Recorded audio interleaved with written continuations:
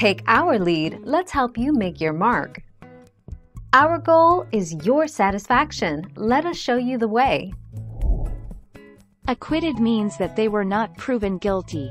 There was insufficient evidence or the jury did not believe the evidence and they voted to acquit.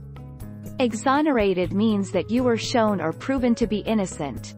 That is a stronger statement than acquitted. 23 August 2019.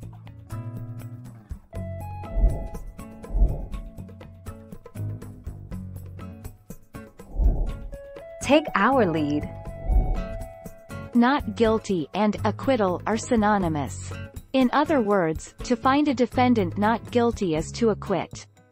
At trial, an acquittal occurs when the jury, or the judge if it's a judge trial, determines that the prosecution hasn't proved the defendant guilty beyond a reasonable doubt.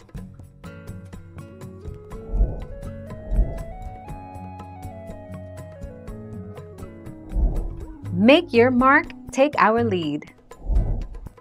A jury's verdict of acquittal terminates jeopardy, and verdicts of acquittal cannot be overturned on appeal even if there is overwhelming proof of a defendant's guilt or even if the trial judge committed reversible error in ruling on an issue at some point during the proceedings. 4 February 2019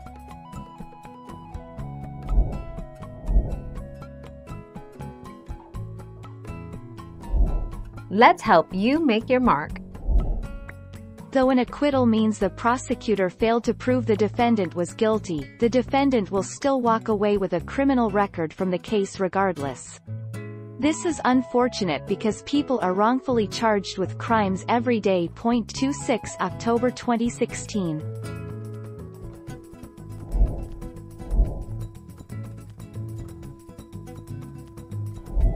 Let's help you make your mark. 2. Such discharge shall not amount to an acquittal unless the court so directs except in cases coming under Section 176. Exercise its discretion under subsection 2 of the provision to acquit the accused instead of merely discharging him without that discharge amounting to an acquittal.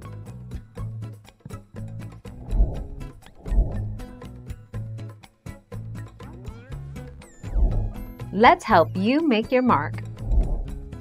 In general, an exoneration occurs when a person who has been convicted of a crime is officially cleared based on new evidence of innocence.